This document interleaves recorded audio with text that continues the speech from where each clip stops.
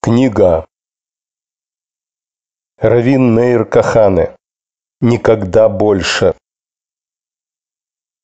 С Божьей помощью. 34 года после выхода в свет «Никогда больше» 15 лет после трагического убийства Равина Мейра Каханы. Его идеи продолжают жить и вдохновлять.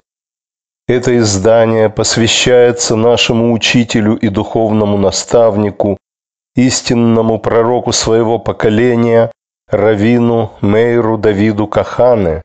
Да отомстит Господь за его кровь. Да будет память об этом праведнике благословением его последователям. Семья Ильяевых Впервые эта книга вышла на английском языке в издательстве «Пирамид Букс», Нью-Йорк, 1971 год. Перевел с английского А. Эскин. Редактор русского перевода П. Гиль. Книга дается с небольшими сокращениями. Это издание посвящено Авраамам Шехтманам, памяти праведника Рава Гилеля Либермана. Издатель и распространитель Гамиир Ледавид совместно с Институтом издания книг Рава Каханы. Об авторе этой книги Равин Мейр Кахане родился в 1932 году в Нью-Йорке его мать попала в Америку в 1919 году. Ее родители бежали туда из Двинска, ныне Даугавпилс, Латвия, спасаясь от большевистского режима. Скончавшийся несколько лет назад отец Рава Мейра Каханы был роженцем израильского города Цфат. Мейр Каханы вырос в Нью-Йорке 13 лет учился в знаменитой Ешиве «Мир», в которой получил смеху, звание равина. Кроме того, он окончил факультет международного права Нью-Йоркского университета и имеет диплом адвоката. В 1968 году Рав Мейер Кахане организовал Лигу защиты евреев, которая поставила себе целью обеспечение физической безопасности американских евреев и возрождение у них чувства собственного достоинства и национальной гордости. В 1969 году Раф Мейер Каханы и Лига защиты евреев были первыми, кто начал открытую бескомпромиссную борьбу за освобождение советского еврейства.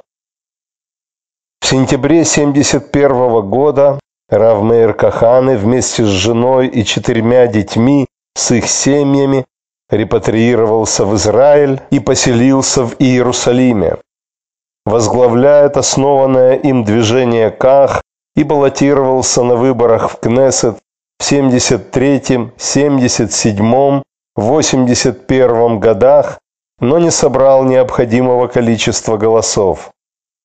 Едва ли не с первого дня пребывания в Израиле Раф Мейр Кахане стал объектом грубых нападок, клеветы, преследований со стороны властей и левых кругов. Был первым евреем в Израиле, который подвергся так называемому административному аресту. Без суда и следствия был заключен в тюрьму, где провел несколько месяцев. На выборах в Кнессет 11-го созыва, состоявшихся 23 июля 1984 года, за движение КАХ проголосовало 25 907 израильтян, и Раф Мейр Кахане стал депутатом Кнессета. Его избрание в Кнессет вызвало волну истерических реакций со стороны всех без исключения левых и многих правых политических партий и общественных организаций в Израиле. Оно не прошло незамеченным и за пределами Израиля. Коммунистические, арабские, мусульманские государства, почти все страны третьего мира большинство политических лидеров Запада обрушились на Рава Мейра Каханы и возглавляемое им движение с резкими нападками, стиль которых зачастую напоминает площадную ругань. Равин Мейр Каханы борется за то, чтобы государство Израиль стало действительно еврейским государством, основанным на еврейских законах, избавленным от присутствия вражеского арабского населения и тлетворного влияния социализма. Предисловие ко второму изданию. Второе издание этой книги выходит в свет спустя 10 лет после первого и 8 лет после того, как Равмейр Кахане был убит. В предисловии к первому изданию об авторе этой книги мы писали, его избрание в Кнессет вызвало волну истерических реакций со стороны всех без исключения левых и многих правых политических партий и общественных организаций в Израиле. Истерические реакции быстро превратились в оперативную задачу любой ценой ликвидировать явление, именуемое Равин Каханы и движение Ках. Что только не предпринимали вожди государства, называющего себя еврейским. Замалчивание, клевета, самые немыслимые обвинения. Явление не только не исчезло, все больше и больше людей убеждалось в правильности идей Равина Каханы. Израильские демократы в кавычках решили принять специальный закон, единственной целью которого запретить Раву Каханы баллотироваться на выборах в Кнессет. Приняли, запретили. Явление не исчезает. Что делать? Вечером 6 ноября 90 -го года граф Каханы, закончив лекцию, беседовал с группой евреев в холле одной из нью-йоркских гостиниц. Внезапно прозвучали выстрелы, и Рав Каханы упал, обливаясь кровью. Убийца – араб. Исполнитель кто стоял за его спиной. Американский суд не выяснил этого. Или ему намекнули, что не стоит выяснять. Три с лишним года спустя, после того, как доктор Бару Гольдштейн, ученик Рава Каханы и бывший активист движения Ках, убил в двойной пещере в Хевроне 29 арабов и ранил еще около 125, Власти государства Израиль объявили движение Ках и отколовшееся от него движение Каханы Хай вне закона. Вожди государства, называющего себя еврейским, не могли дышать одним воздухом с равом Каханы. Им гораздо приятнее подписывать договоры о дружбе и сотрудничестве с Арафатом и отдавать ему земли нашей страны. Им легко дышится. Равин Каханы больше не мешает им в их труде. Примечание чтеца. Приведенные здесь сведения о происшествии с доктором Барухом Гольдштейном в двойной пещере в Хевроне оспариваются многочисленными комментаторами. Равин Мейр Каханы никогда больше. Посвящение. Никогда мне не приходилось решать более легкой задачи, чем та, кому посвятить эту книгу. Она – выражение моей глубочайшей благодарности героям еврейского сопротивления наших дней. Мы, сыны поколения катастрофы, этой безумной трагедии, ставшей апофеозом многих столетий кровавых преследований, погромов и унижения, мы стали свидетелями возрождения национального достоинства и национальной гордости нашего народа. На наших глазах происходит пробуждение еврейского самосознания. И что важнее всего, мы увидели иного еврея, поднявшегося из пепла Освенцима. Этот еврей решился смотреть миру в глаза, смотреть в упор на тех, кто веками сжигал, терзал, топил, вешал и травил нас в газовых камерах. Трагический груз воспоминаний о целом еврейском мире, сожженном в крематориях, переполнил чашу терпения. Евреи устали молча страдать и погибать.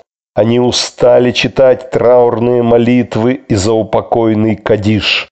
Они отвергают навязанную им в Галуте христианскую мораль и отказываются подставлять другую щеку. Эти евреи отлично выучили урок, преподанный им их врагами.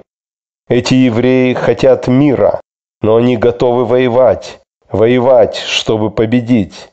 Я посвящаю эту книгу членам Лиги защиты евреев, которые подняли знамя еврейского достоинства и мощи в Галуте.